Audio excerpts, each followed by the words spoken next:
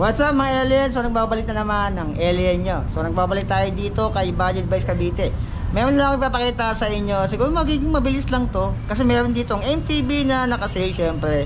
Ngayon is 7,000 pesos lang yan mga alien. Sa 7K mo, meron ka nang naka-hydraulic na MTB. So pwedeng pwede na mga alien. So kung naghanap ka ng MTB na naka-hydraulic na sa halagang 7,000 pesos, isa, pwede pwede na to. You may consider this.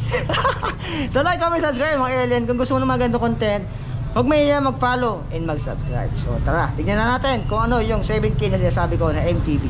Let's go! Woo! Okay, quick buy check na natin to si Gomax Mission 710. So itong frame niya is alloy to mga alien. Kayong mag-alala. Alloy yung frame niya. Sa kanyang top tube, nandito yung kanyang mismong model Mission na 710. Sa down tube niya, nandito yung mismong brand niya. Gomax. Yung down tube niya, tubular.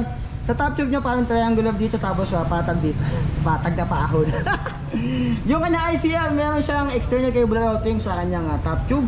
Ito yung display caliper sa likod. Sa left and right, nandito yung FD and kanyang RD.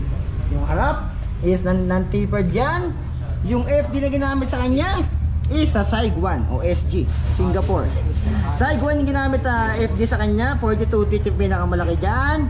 And size 16. Ayan, frame size, size 16. May pagkasmo lang siya. Gomax, alloy na yung kanyang frame. Naka-clamp type, yung lagayan natin ng ulam, meron dito sa kanyang down tube. Ito is naka 3 by. Gomax na rin, meron siyang basket dito, hard plastic, nabaka sa loob to. Kanyang clamp arm dito, 160mm. Yung kanyang RD naman is dumaan dito syempre may Gomax dito. Yung RD na ginamit is skillful. Ayan, skillful siya. Dito naman, sa kanyang sprocket 1, 2, 3, 4, 5, 6, 7, 8 8 speed ito is 13 32 teeth. And naka 8 speed na siya and 11 at 13 32 teeth yung ginamit sa kanya dito. Hubs naman niya is baka syempre.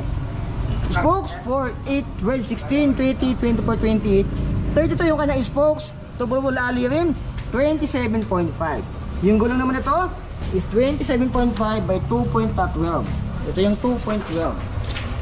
Ayan siya.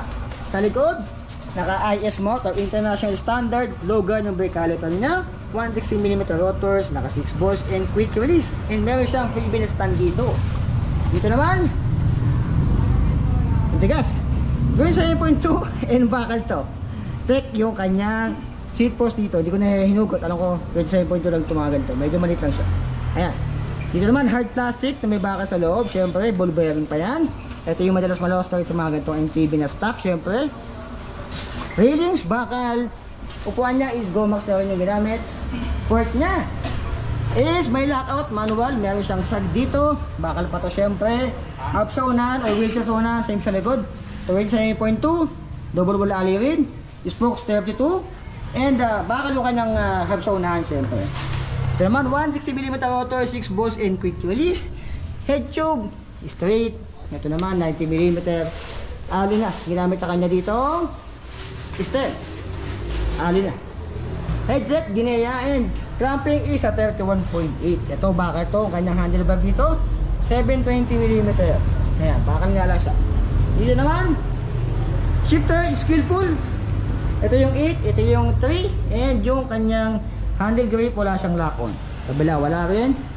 Brake naman niya is sa uh, Logan. Ito yung ginagamit sa mga trains, sa mga MTB, and sa mga Star, sa mga T-Reach na binabudget natin mga alien. Ayan si Gomax Mission 710 mga aliens. Uh, dati ang price nito is 7,500 pesos. Pero ngayon, hanggang uh, June katapusan is 7,000 na lang yan. So less 500 yan mga alien.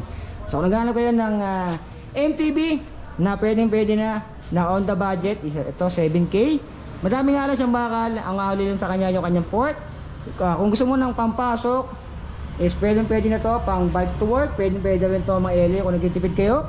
Sa halagang 7,000 uh, pesos is meron na kayong uh, MTB na pampasok. Uh, pang uh, pang gala mga alien ayan 7k lang. Si Gomax Mission 710 Okay mga Ellen, so yan ang ating quick buy check dito kay Gomax Mission 710. So sa halagang 7,000 pesos, meron ka ng uh, MTB na naka-hydraulic ng Logan. Uh, alo yung kanyang frame. Bukod doon, eh, karamihan sa kanya is bakal mga Ellen. So advisable to sa mga gusto lang magbisikleta, pampasok, para sa mga nagtitipid, pwede pwede na. Si Gomax 710 is sa 7K lang dito kay Budget Price Cavite. So yung details ng Facebook page nila, Google Map location and number is nandyan sa video description. Mayroon meron din silang Shopee. Kung gusto niyo mag-Shopee, kaya sa malayo kayong ah, planeta, is pwede pwede yan mga alien. May deliver to sa inyo. Saan man kayong panig ng mundo, ng galaxy o ng Pilipinas. So yun lang. Kung gusto mo naman ganito content, huwag may mag-follow, mag-subscribe. So yun lang. Maraming salamat. So be it. I love you all. Signing up. Woo!